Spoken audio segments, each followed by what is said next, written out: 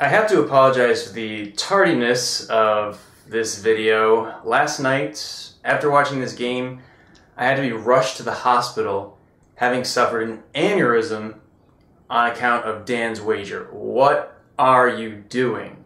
There's no reason to let Choyon back in. He's got 200. You've got Lenny crushed here. The best thing you can do is just wager to get the victory in most circumstances and play for more money tomorrow. Instead, Dan went for everything but a dollar. So he's going to get my first Clavin new color wager, the red text on white background. Congratulations, Dan. That is the infamous Damien Henry approach, which is just pointless. What should Dan have wagered? Okay.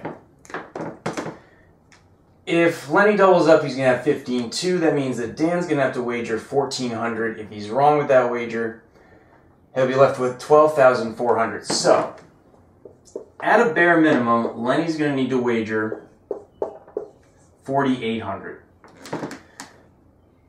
Let's assume that Lenny is going to play properly and that he does at least this 4,800 amount.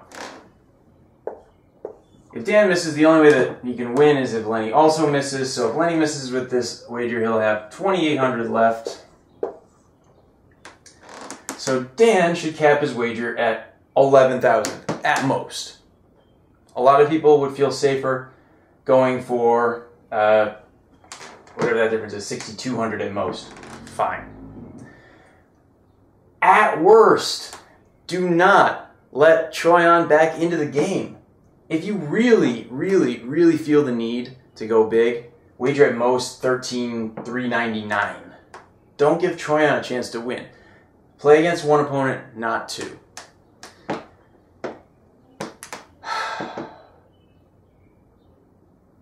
It's too early to start drinking again.